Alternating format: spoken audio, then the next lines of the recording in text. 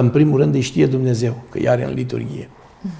Deci, iată încă o dată de ce trebuie să fim atenți la Sfintele Daruri. Ostașii căzuți pe toate câmpurile de luptă. Vedeți, noi mai găsim prin pomeni și la morți, în postul mare, la moș, la sănătatea lui Lazar, erou, erou, erou, erou. Biserica îi pomenește, pomenește pe eroi în fiecare zi. Ne rugăm pentru ostași, eroi, ce au murit pentru demnitatea ortodoxă, pentru apărarea țării, pentru întregirea neamului, pentru întregirea hotarilor, în închisori, în temnițe comuniste și așa mai departe. Dar nu numai temnițe, dar au fost, da. a fost, au fost imperii turcești, a fost Habsburgic, a fost tot felul de nenorociri. Mai ne-am obișnuit că ăsta a fost ultimul regim ateu care a avut efecte mai devastatoare asupra ceea ce înseamnă intelectualitatea României și au umplut închisorile pentru că na, și-au impus o doctrină cu forța și trebuiau să o trebuiau să o implementeze și atunci tot ce le-a stat împotriva au ucis, n-au stat la discuție. Ei, biserica are grijă de aceste suflete permanent. Și după aceea, biserica spune, încă ne rugăm, și de aici se justifică punerea Sfintelor daruri pe capetele credincioșilor, pentru cei ce au adus aceste Sfinte daruri, vii și adormiți. Vii sunt în biserică, se uită la noi, și îi mai pomenim odată la, Sfânt, la Sfânta Liturghie, în finalul Iecteniei Darurilor, când spunem așa, și pe voi, drept, și pe voi, pe toți drept măritorilor creștini, care v-ați adunat la această dumnezească liturghie să vă pomenească Dumnezeu într-o împărăție sa.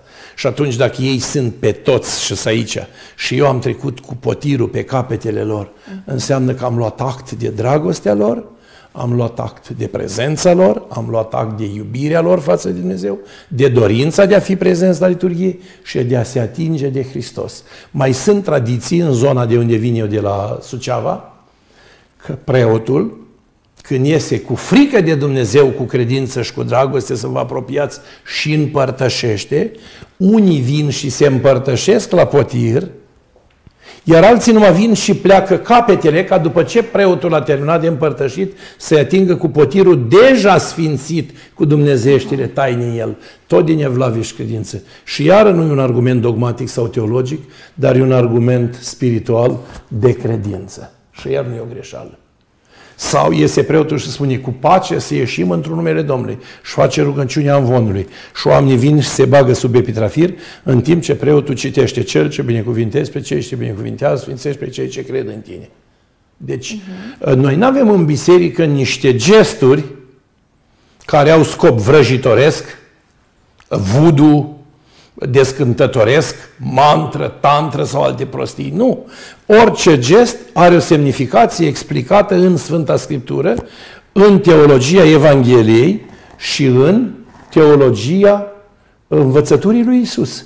Și am să întreb, când Iisus vorbea poporului la sinagoga din Capernaum și pe la spatele lui femeia s-a dus să atins de haina lui, ce gest a făcut? Oare nu cumva o atingere ca în biserică și s-a da, vindecat? Da, da. Deci noi nu putem fi absurzi, că vine unul acum și a stat el la birou, a folosit o cafea și o țigară și a dat cu părerea despre ceva nou în teologie, asta e apă de ploaie.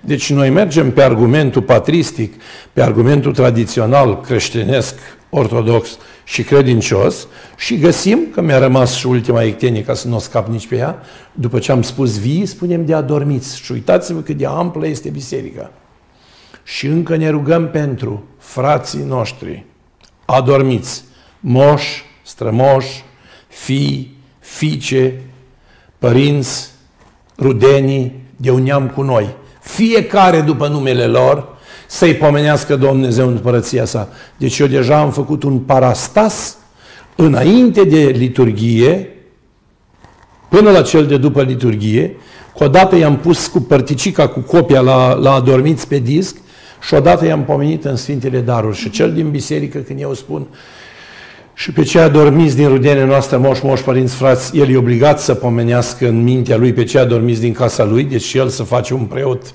pomenitor, deci participă la liturghie și când spun și pe cei care s-au dus aceste sfinte daruri vii, eu îmi pomenesc pe toți din casa mea. Că pot să meargă și doi din casă la biserică, dar unul merge sigur și ceilalți poate nu merg. Copiii învață, bătrânii să acasă, poate cineva are grijă de casă, dar unul e la biserică. Și atunci, în momentul respectiv, în clipa aceea, el îi pomenește pe toți ceilalți. Deci atât de importantă este aceasta și atunci în momentul în care fie că atingi sau fie că nu atingi, nu săvârșești niciun sacrilegiu. Deci ăsta este un moment foarte important în care liturgia pregătitoare adună spre liturgia sfințitoare tot poporul să fie părtaș cu preotul, cu altarul, cu Hristos, cu Sfânta Treime, Tatăl, Fiul și Duhul Sfânt în biserică la liturghie. Că după ce s-a pus frumos uh, potirul înapoi pe masă și s-a binecuvântat poporul cu el în semnul crucii, se cântă ca pe împăratul tuturor să-l primim, Sfânt, Sfânt Domnul Savaot, cântare de biruință și apoi începe mare epicleză. Aici nu știu credincioși și aici trebuie atenție. Uh-huh. Oamenii nu știu când începe liturgia. Începe la binecuvântată este împărăția și se termină la binecuvântarea Domnului peste voi toți cu al său dar și a său iubire de oameni. Când se face o pustul de închiere, cel ce a înviat din morți, Hristos adevăratul Dumnezeu nostru, pe rugăciune preacurate Maicii sale, acelui între Sfinți pe nostru Ioan Gură de Aur, că el e aproape tot anul, rari Sfântul Vasile sau acum în post Grigore, dialogul Papa Romii cu liturgia solemnă sau împărtășirea solemnă înainte sfințită, pentru adeptul Dumnezeu și Părinții Achim Șana, Sfinților Zile și a tuturor Sfinților, să ne milească și să ne mântuiască. Dar momentul solemn, după daruri, este tocmai această... Că noi, eu când eram copil nu știam liturgia și bunica mea mă lua de mână și mă tăra la biserică și mă obosa, dar eu ca să treacă ușor liturgia știam că trebuie să stai de patru ori în genunchi. Așa cântăream timpul. Că ea îmi spunea, stai aici în fața mea cu minte că dacă te miști, îți trag una peste cap de-ți plimb capul ca clopotul. Tu nu te miști de aici, nu mă faci de râs. Și eram obligat să stau acolo lângă ea, ea stătea la liturghie, că înțelegea, știa. Da, Eu nu știam, eram copil.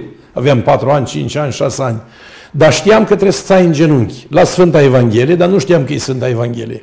La crez, la daruri și la Tatăl nostru. Și când era ultima dată, știam că de acum îți dă preotul pâine sfințită, povestește la acolo ceva și s-a terminat liturgia. Dar cred că sunt și astăzi adulți care nu prea merg la biserică da, și cred că, așa, cred, că așa o interesează, cred că așa o interpretează și dumnealor. Nu i-aș putea judeca, dar așa era pentru vremea mea atunci. Ei, dar preotul în timpul slujbei mai poate atenționa? Acum urmează cu tare lucru. Acum N-ar fi corect. Nu sunt permise aceste Arhereul poate da aceste lămuriri. Uh-huh are această capacitate misionară și învățătorească pentru că îl reprezintă pe Hristos, dar preotul poate doar atât să atragă atenția ca lumea să fie liniștită sau să fie atentă. Nu poate da explicațiuni. Iubiți credincioși, în clipa aceasta, aceasta facem, nu face parte din nu coerența Sfintei Liturghii și nu ai voie să întrerupi cultul divin public în care Duhul Sfânt e prezent acolo și lucrează prefacerea tainelor. Și aici vreau să ajung ținta țintelor.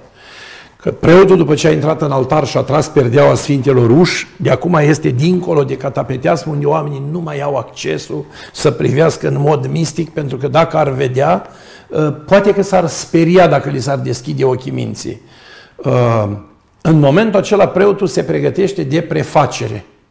Este punctul foarte și cel mai înalt din toată liturgia în care Duhul Sfânt vine să prefacă Sfintele Taine. Și eu îi mai întreb câteodată pe tineri, pe credincioși, când vin, zic, mă, tu știi ce e Sfânta Liturghie? Da. Și atunci întreb, ce face preotul în timpul Sfintei Liturghii. Și el îți spune, să roagă, ne împărtășește, ne citește din Evanghelie, cântă, ne sfințește, orice vrea, numai ce trebuie nu spune. Și atunci am explicat formula clară pe care ne-o arată ei nebraniște. Deci cea care este uh, formula dumnezească a Sfintei Liturghii.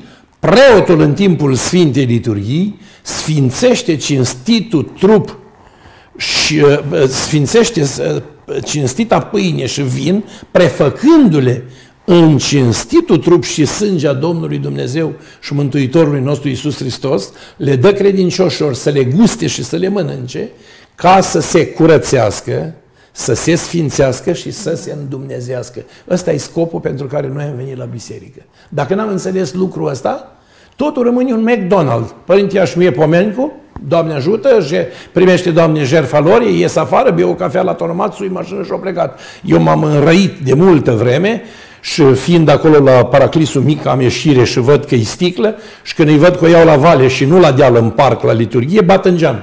Ei, ce faci? Părinte, ne ducem că avem o treabă. E liturghia la jumătate. Vă rog să vă întoarceți în parc să nu aveți accident cu mașina. treceți înapoi. Când ați auzit că s-a cântat Tatăl nostru, vă luați anaforă și plecați acasă. Că nu vă interesează cuvântul e altceva, dar nu putem să întrerupem puterea Sfintei Liturghii.